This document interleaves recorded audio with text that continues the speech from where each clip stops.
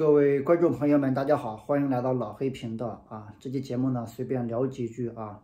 呃，刚刚呢，我是在刷一部剧啊，叫《边水往事》啊，讲的就是在金三角那边啊，一个普通人，嗯，也不能说是普通人吧，是捞偏门的啊。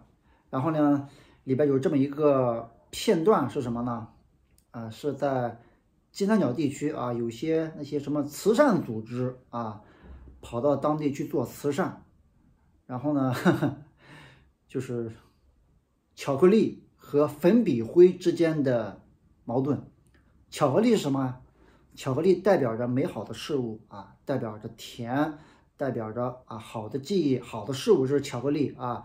你给孩子发巧克力，他就能好好的听课上课。但现实是什么？现实就是粉笔灰，粉笔灰映射的就是毒品啊！因为金三角那边啊有很多毒贩嘛，有地方民地武装嘛，是吧？然后呢，我就想了，呃，这个世界多么的虚伪，虚伪！里边呢，其中一个人就是跟一个老外说嘛，金三角这边地区这个毒品是哪来的？啊，不都是你们带来的吗？现在你们来做慈善。你们能改变什么？你们什么也都改变不了啊！呃，你说现在联合国下边这么多组织啊，咱们就从一个小很小的一个微观的层面，我从这个电视剧里面一个微观的层面去反推这个世界啊！你说那个老外呃去支教去做慈善啊，背后有什么什么慈善组织的什么什么什么分部啊？往上推到顶是什么呀？是联合国组织。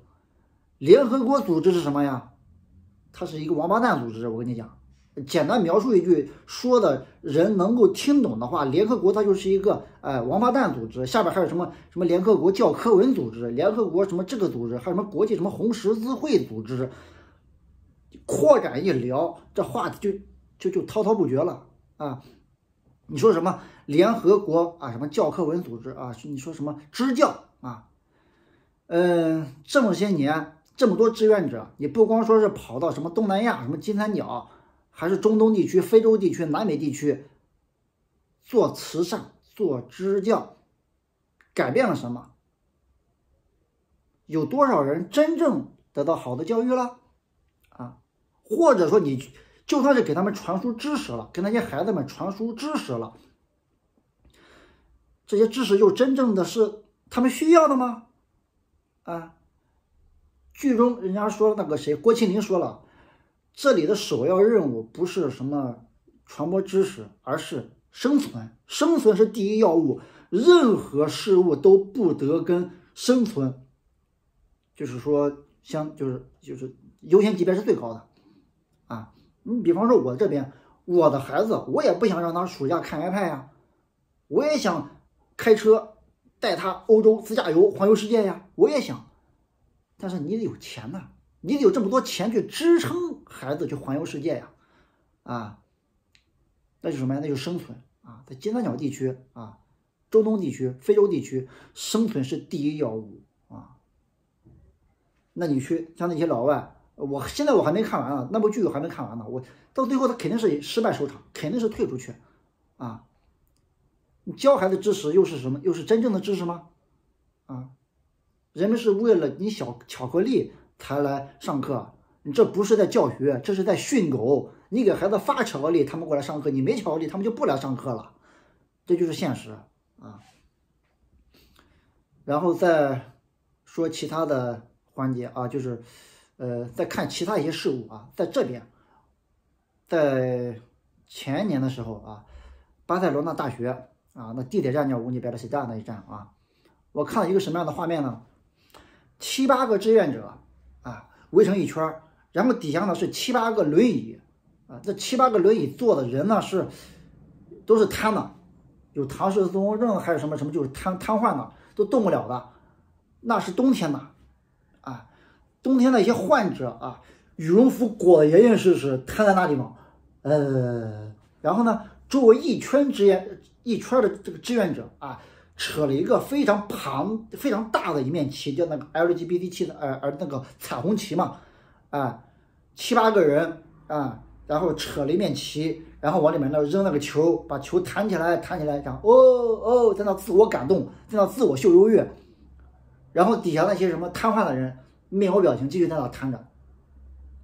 我看了之后，我就一句总结：像这种慈善没有任何意义，不创造任何价值。然而他们还在消耗纳税人的钱，对，扯了这半天啊。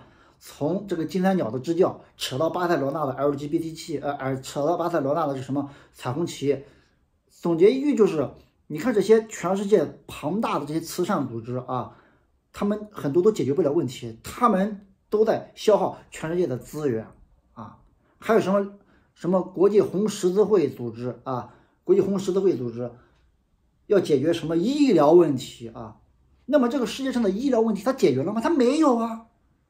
看病的成本反而更高了，医疗它成为一个世界上非常庞大的一个产业链了，不管是在中国还是在国外啊，好药不是好商品，知道吗？我这么多年我在西班牙，我去这个买药啊，呃，除了感冒发烧这种常规的，其实也没用，感冒发烧感觉也没用，啊，就是医疗啊，教育。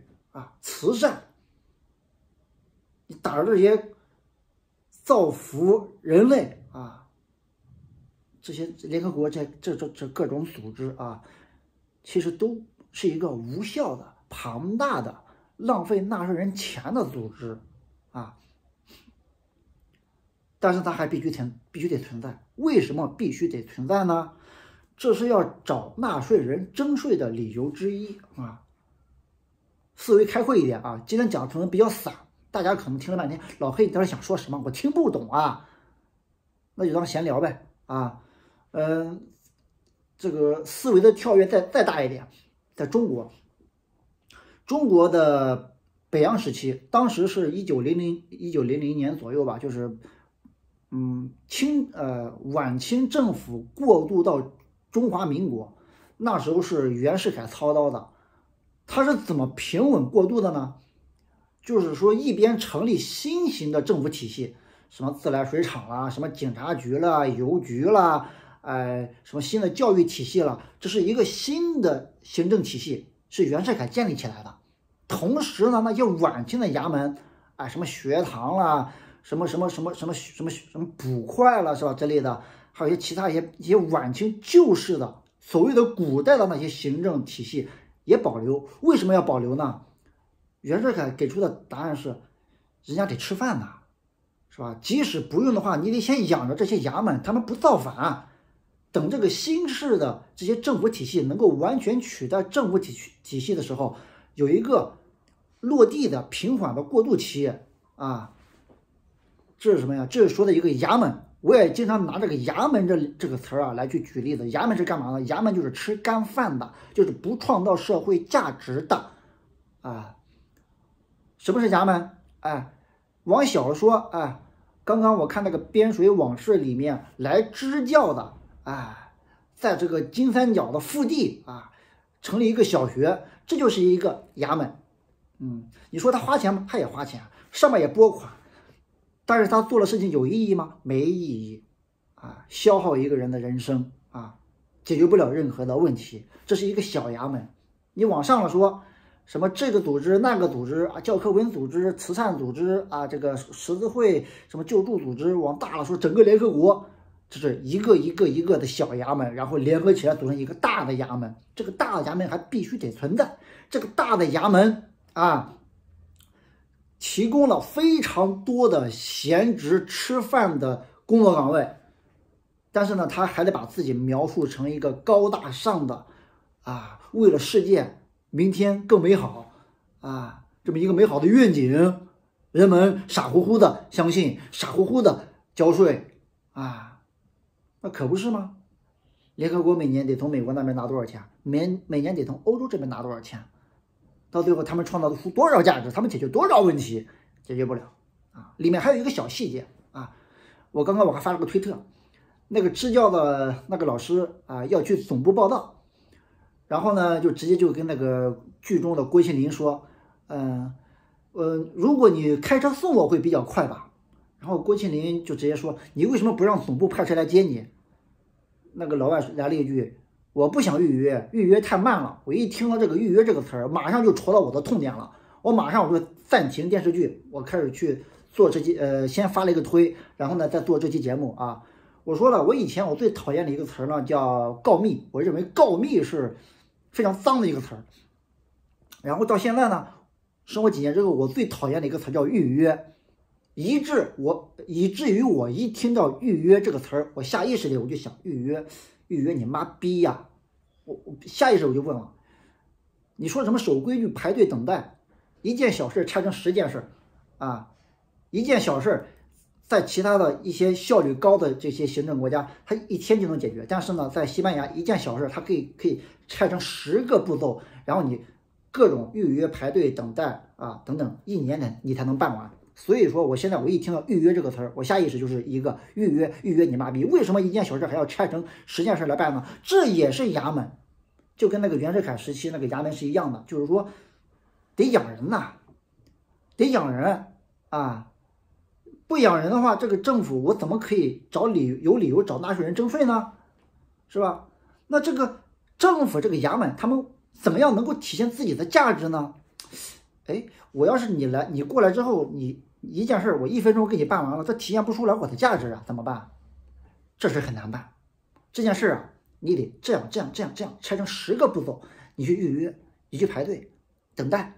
你来这边之后啊，预约第一步、第二步、第三步，每次我都是像做毛作样的电脑噼里啪啦、噼里啪啦、噼里啪啦敲敲了一一会儿，然后呢，吱吱吱吱吱吱打一个证明啊，第一步完成了，然后你再去第二步、第三步、第四步，步骤很简单，但是在这个过程中呢，这个行政的工作人员。他们觉得，哎，我在创造价值，我在工作。你看，我为这个员工啊，这个这就是我为这个纳税人啊，他这他这件事情呢啊，这个第二步啊，或者说是第三步，我在某年某月某日，我给他出了一份证明，这是我工作的价值。我每天我工作个处理个四五件这四五件这种事情，我的价值就体现出来了。我每天我乐呵呵的，呃，我。我是早上这个洗脸刷牙打扮得体，然后去上班去创造价值，然后回来一天，哎呀，家里人还说，哎呀，老公你工作辛苦啦，来来来尝尝我给你做的爆干地哦，是吧？然而这个公职人员他创造的价值就这么一奶奶啊，但是呢，这个行政体系还要养这么多人，不养这么多人，怎么可以去找纳税人征税呢？我还是从一个，呃。这个本质逻辑去思考问题，就是说它合不合逻辑，能不能解决问题啊？说的比较散啊，今天这期节目呢，就是说的比较散啊，想到哪说到哪，好吧？至于更多的细节啊，你们可以在留言区补充啊，挂一漏万。先说到这里。